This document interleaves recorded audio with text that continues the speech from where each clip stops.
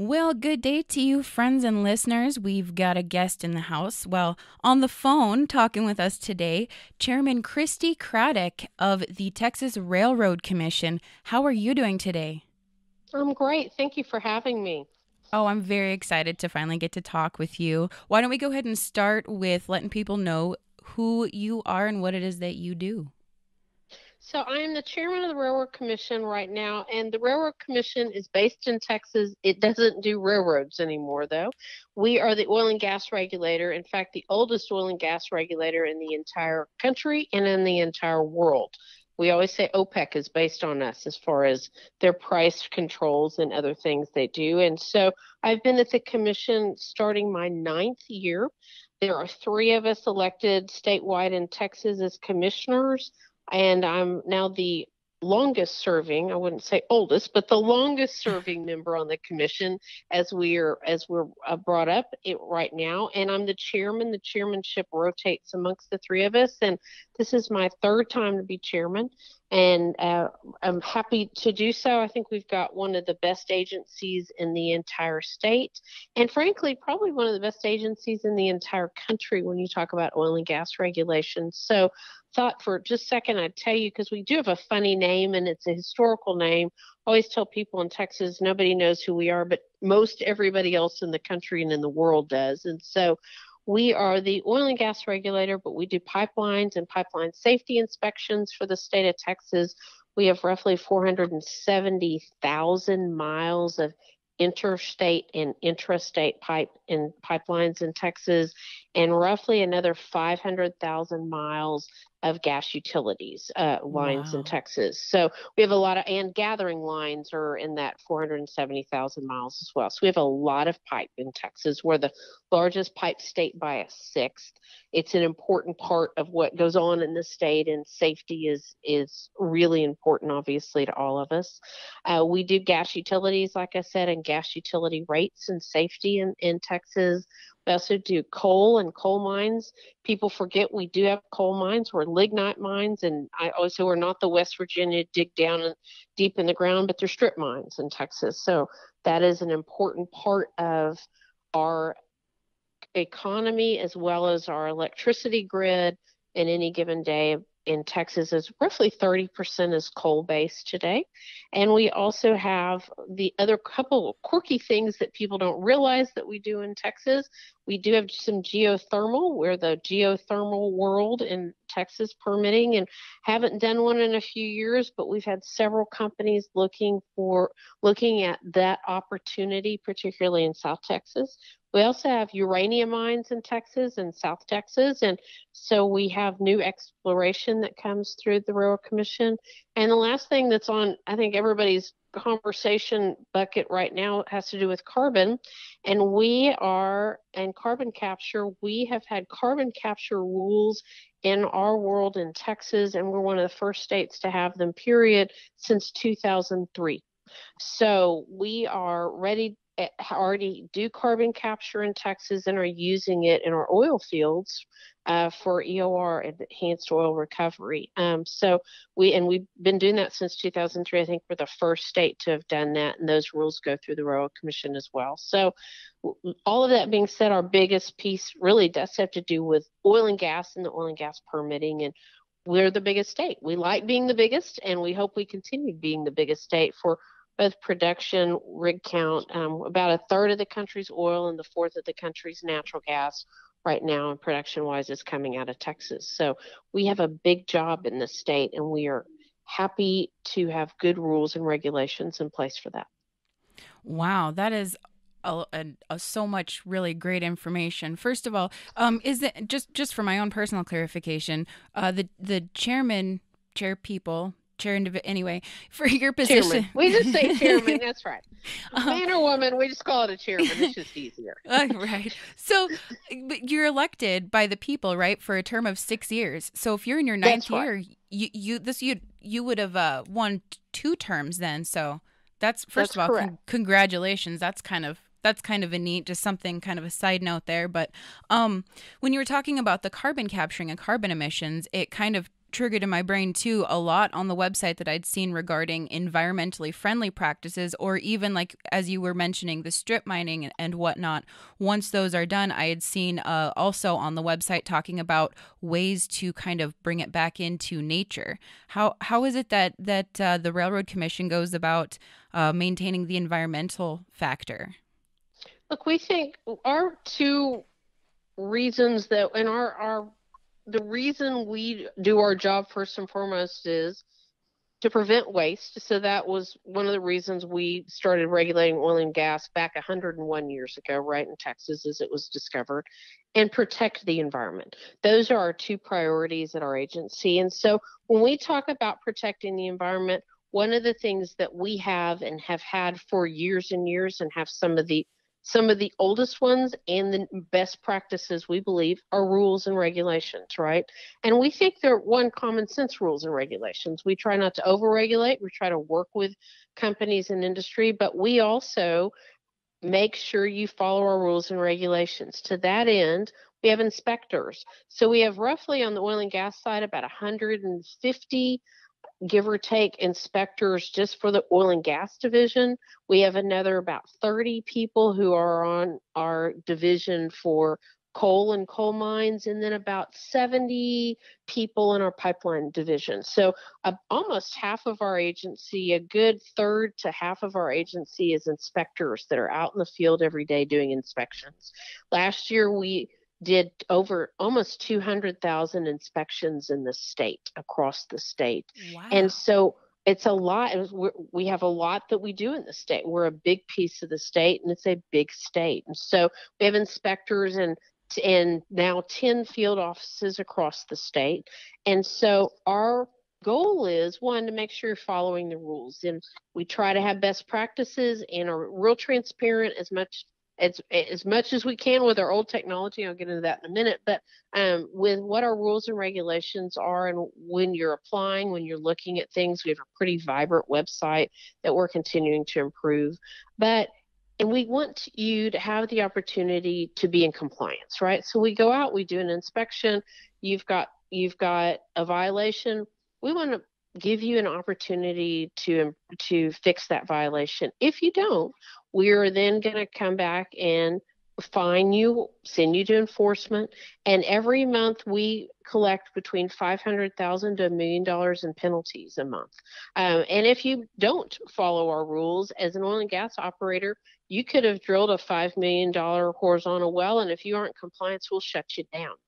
And that's a lot of money that you are that you could have put into uh, under, into the ground and then not be able to produce. And we do that sometimes 15 to 20 times a year. We will shut people down until they come in compliance and take their operating license away. So we take it very seriously. It's part of the reason we we are around as an agency. That being said, we also want to work with industry. That's the philosophy we have in Texas. We think industry has a lot of smart ideas, a lot of innovation, and generally are good operators across the state and want to do the right thing. So it's a good balancing act, I think, in, in Texas of how we how we regulate in the state. Nice. Sounds like you have a, a pretty well balanced system kind of put in place. Um, I guess before there was COVID, there was a lot of stuff going on when it came to climate activism and uh, the ESG. Is that how how did that affect Texas? I guess that would have been toward the beginning of last year, the end of 2019, right?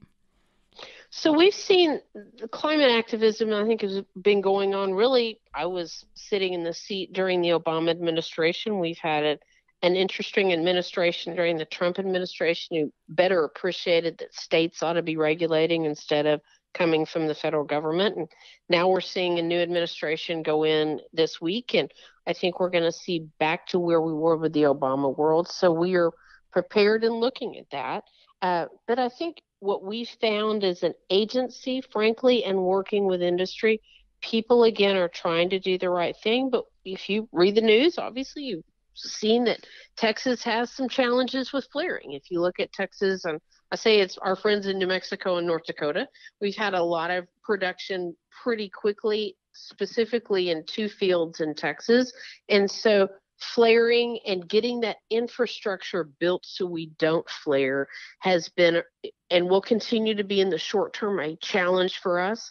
One of the things that we've been doing as an agency, or a couple things, one, we've improved some data sheets and some to get more information. We are, uh, I keep alluding to our technology. We are on a mainframe with Fortran for a lot of our data. And for those of you who don't know what that is, it, we've had it for about 40 years. So we're in the process of upgrading that those systems because we want to be more transparent and what we found is as, as we've upgraded our data and our information um, in our data collection, we're also more efficient as an agency. So that has been one of our priorities is to continue to gather better data, work with our sister agency, Texas Commission on Environmental Quality, that does a lot of does all of our air emission uh, work in this state. So we're all on a page so we can make sure we're presenting good data and we have good information. But look, flaring is a priority to figure out how we do it better and do a lot less of it in the state. We've talked about it a lot for the last 18 months in Texas. I don't think anybody has the magic answer to it, but we've seen industry first and foremost step up and start changing what they're doing, and we're glad about that and being better in compliance for where we are in rules and and realizing that that should be a priority for them as well. And uh, I think you'll continue to see that conversation develop and evolve. I know industry's got some work groups as well. And again, it goes back to that balancing act for us. We have all most of the large operators in the country have a, some position in Texas, but our lifeblood historically has been smaller operators as well. And so we don't want to have too onerous rules that small operators don't have an opportunity to get to be in compliance and continue to operate where the larger operators obviously can put a lot more money to it and it's a, a huge priority for them as well so how we continue to work with companies recognizing that we need to have best practices in this state because people look at us is a, is a real challenge for us as, and we continue to work through that absolutely that that does sound like a, a challenge of its own um, so it was alluded to me that something almost happened earlier this year, and I'm not entirely certain what, but it sounded kind of ominous. Was there something going on toward the beginning, middle of the year that uh, that wasn't so good? So, sorry, you're talking about proration, I think, for for us. Maybe um, I'm I'm not entirely certain. It was it was alluded that something had gone on, and I'm I couldn't quite figure it out in looking at the at the sites and the information in front of me. I thought maybe.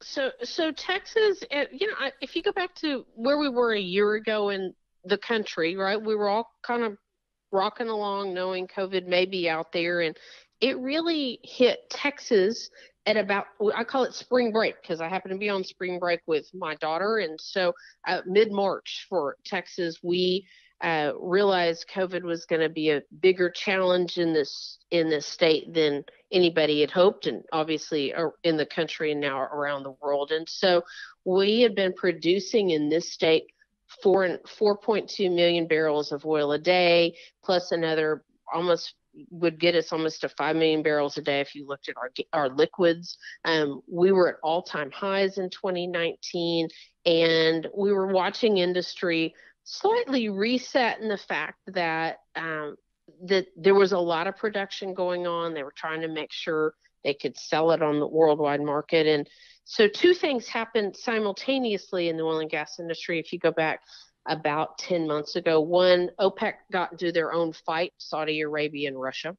And the second thing that happened was COVID. And so between those two, obviously the price of oil starts dropping and we see a lot more challenges in the state. And at that point, again, go back to mid March last year, we had a couple of companies file an a application for us to look at uh, prorationing in the state again. So let me give you a little background on prorationing. When I said we were what OPEC is based on, if you think about OPEC, they tell their membership how much they can produce. Now, they don't ever keep to it. That's another problem. But how much they can produce a month and sell. So right, that's kind of the basics of OPEC. So okay. um, and and that's what Texas as the Lord at the time the largest operator in the country and frankly in the world up through the early 1970s we had our individual operators come in monthly and we would say you can produce this much out of that well or out of that field or or and it kind of varied but basically you can produce that much and we we would tell you how much each well could produce. And so we had done we did that for years and it started way back in the 30s went all the way through the 40s when texas was sending over about 25% of our oil went overseas during World War II to um, help our, our our allies during that time period, and we did it up through 1973. And then obviously, had other states come on, start having higher production, like our friends to the north in Oklahoma and New Mexico and other states start really having a lot of oil and gas production. And as you get into the 1970s, you now have Saudi Arabia and some of those countries come online as well. And so we at that point said, you can produce as much as you want. And I, that's where most state, I think every state is in the country, the free market took over. So we, as we are watching the price of oil go down, the demand in the country and in the world drop from 100 million barrels a day to roughly 80 million barrels a day. Then again, there was this application for us to look and figure out if we should be doing proration again. And uh, which right at the same time we're shutting down for COVID and right at the same time the entire country is trying to figure out what we're going to do and we're all stuck at home. We had two months of a very active conversation with a lot of information come in from all sectors of the oil and gas industry, whether you were a, a operator, a pipeline company, or you were somebody who was selling it on the open market. Uh, a lot of people give us information and we had an 11 hour hearing zoom hearing probably was the largest hearing at that point. Now we're all used to zoom but that was a new technology for a lot of us back in april and so um, now we're all used to it. But that that was and, and, we had people from all over the world literally watching to see what we were going to do as an as an agency. At that point with you know we had again 5 million barrels of oil and 100 million barrel a day market was not a lot but it was a lot if you put all of the United States together. It was more like 11 million barrels total. And our friends in Canada were watching to see what we were doing. Our friends in Mexico were watching to see what we were doing. So um, we had this hearing. We appreciated it. We took a lot of information. I took 15 pages of notes in 11 hours. Oh, wow. And for those of you who were watching or paying attention, I got up total of 30 minutes in that 11 hours. That's the only breaks we took. Y'all got to wander around. We sat and took notes and we're serious about it because it was a serious conversation. And it wasn't just big guys against small, it was a very split conversation of people that I would not have thought were on one side or the other.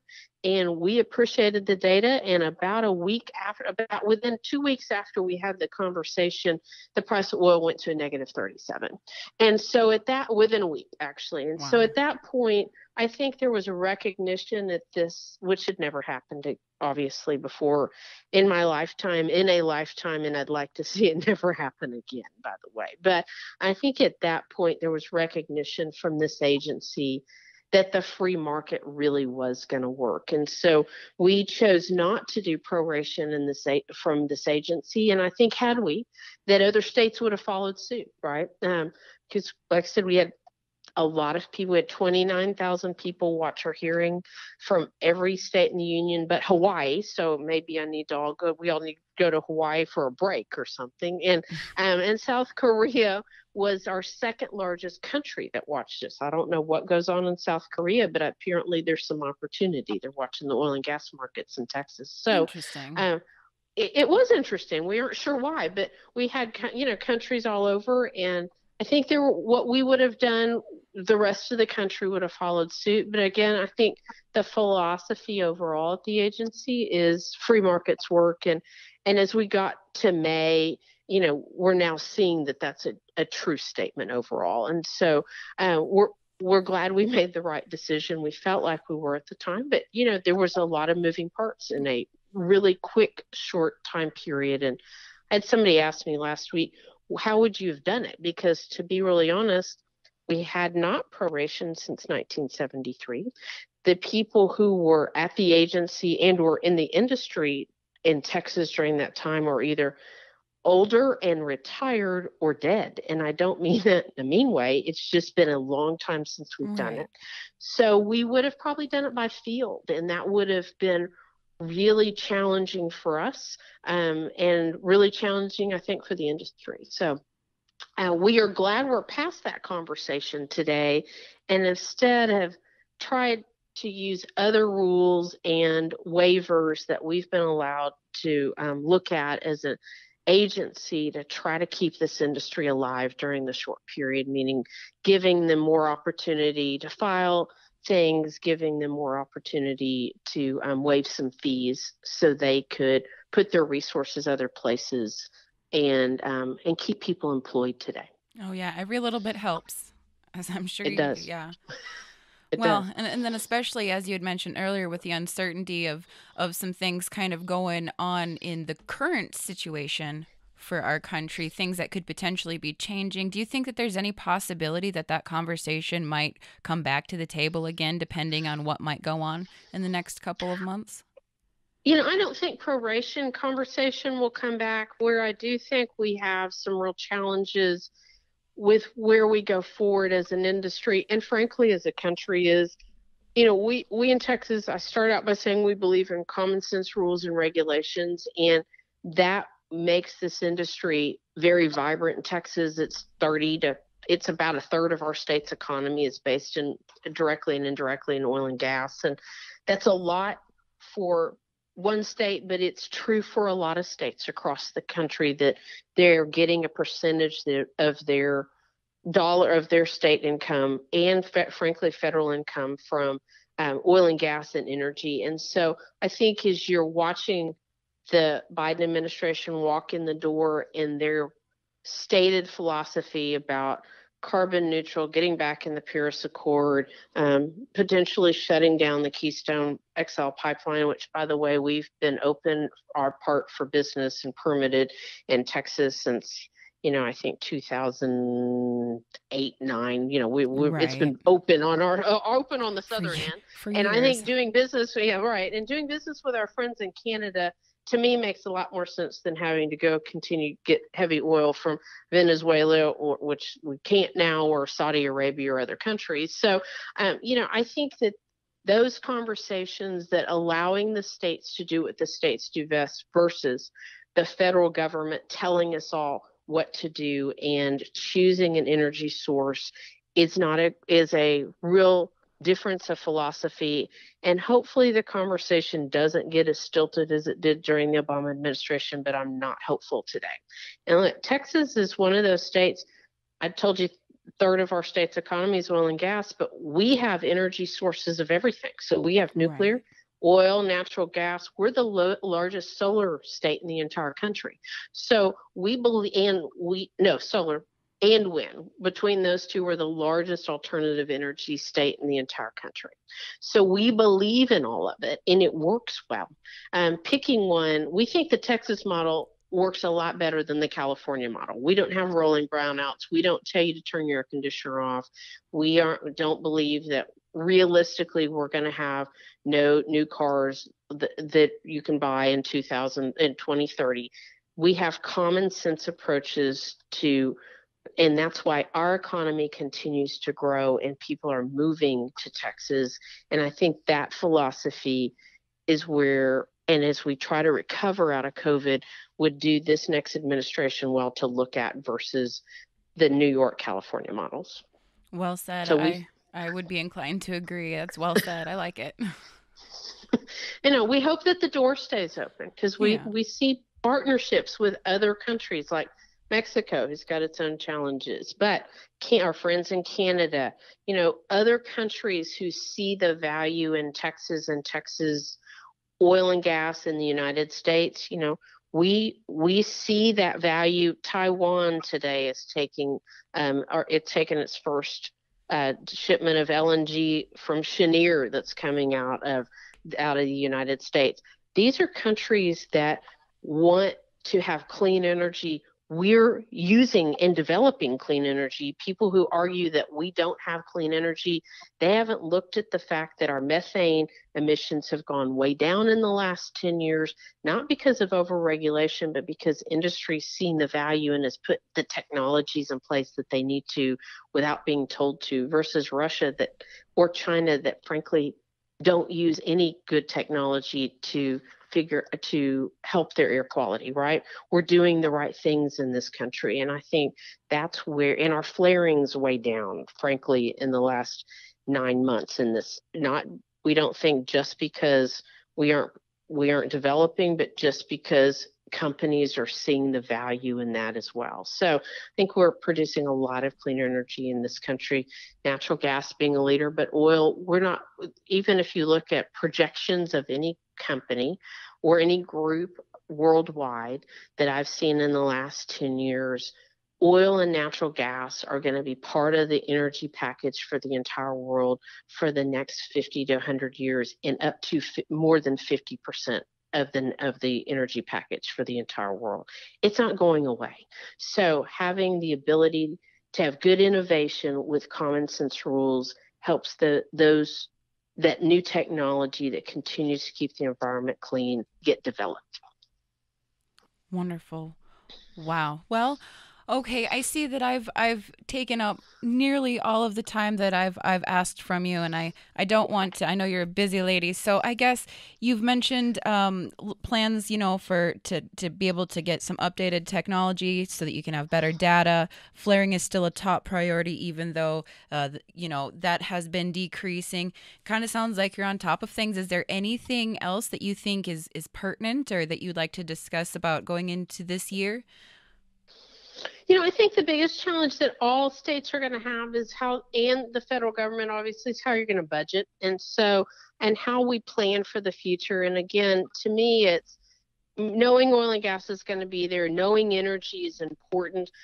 It's the it people people look at me and say, "Well, I'm not in the energy industry. Why does it matter?" And what I remind people is if they didn't have oil and gas, they wouldn't have a computer, they wouldn't have their iPhone, you wouldn't have all the medical equipment we're using today for COVID and or it's allergy season in Austin, Texas, so you wouldn't have your allergy medicine too. Oil and gas touches you every single day. It's a component of your life, whether you drive or not.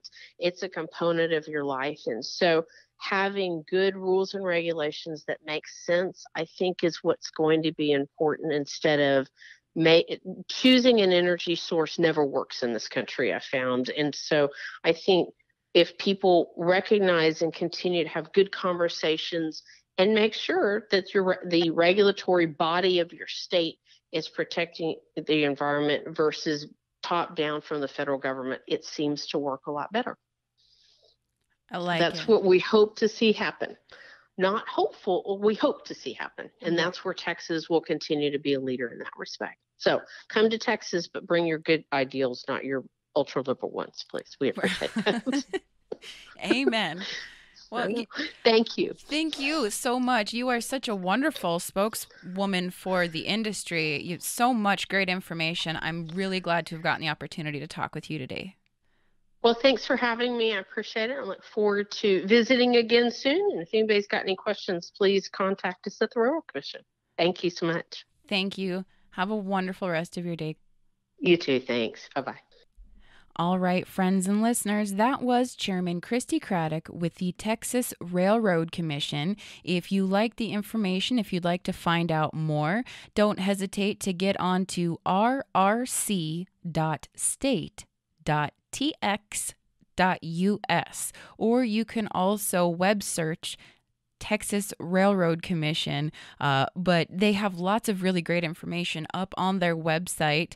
If you would like to know more about Christi Craddick herself, you can certainly go to christicraddick.com. She's got all kinds of wonderful information up there, as well as uh, many things that she's been a part of working on in regards to the industry and and so so much great stuff up there. So by all means, if you have any interest, want to find out more, like I said, go to rrc.state cruiselife.tx.us or you can go to christicraddick.com to find out more about Chairman Craddick herself. Loved all the information that she brought with her today. I hope you enjoyed it as well. And if you did, be sure to check out the rest of what thecrudelife.com has to offer.